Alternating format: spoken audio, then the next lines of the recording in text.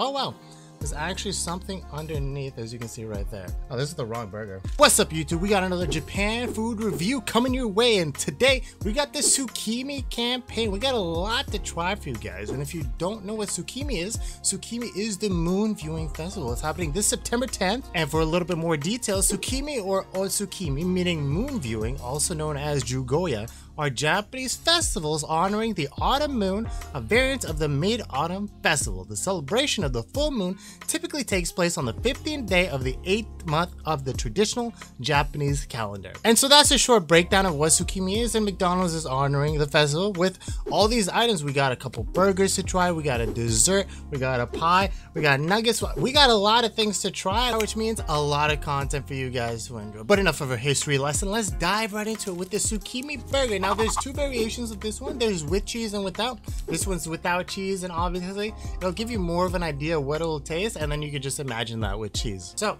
let's open it up and see what we got today. And so here's the burger. Obviously you can see a little bit of that bacon sticking out. So let's look at the top of bun. You can obviously see a little bit of sauce and you do see the bacon not centered. So I'm to center it a little bit just so I make sure I get a decent amount every bite. As always, I'm to complain about the bacon and I do wish they would give us two strips of bacon so we can crisscross them. That way we get a bacon bacon in every single bite. But you know, when in Rome, you gotta do with what you got. And we got a nice piece of egg, covers a lot of the patty. So you'll ensure that you get a nice taste of egg with every single bite.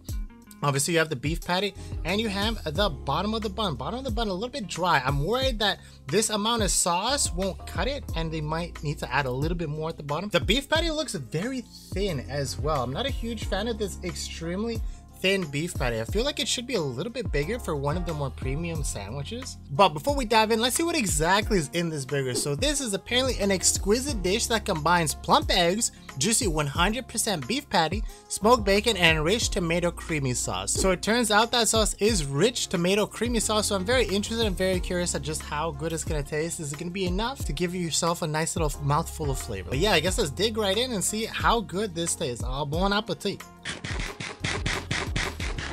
Alright, so my first bite impression of the burger, it's not that bad. You do taste the beef, you do taste the bacon, which is surprising. I do wish I had a little bit of a texture, a little bit of crunch. But what's lacking in my first bite is that sauce. I Again, like I mentioned, they might not have put enough sauce to cover the entire patty, and so it might get drowned out by the other flavors, and so it probably won't add a lot to the burger. But that was just the first bite. Let's keep going and let's see how that changes up.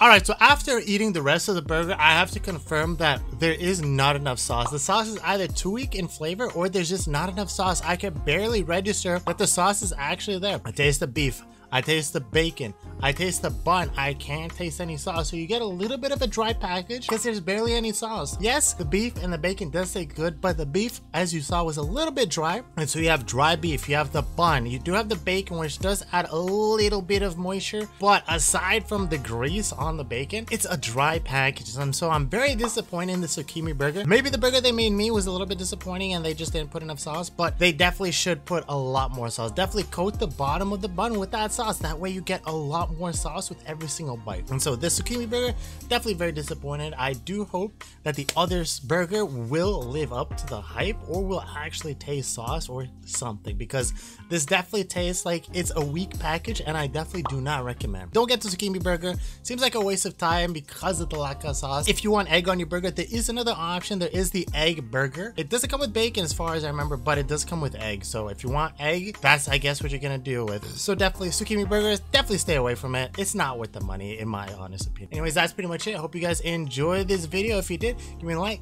comment, subscribe, and ring a ding-a-ling that bell. And let me know down in the comments below, do you like your bacon crispy or do you want it a little bit soft the way the Japanese do it? But hey, thank you for taking the time watching this video, and I'll catch you guys next time. Peace out.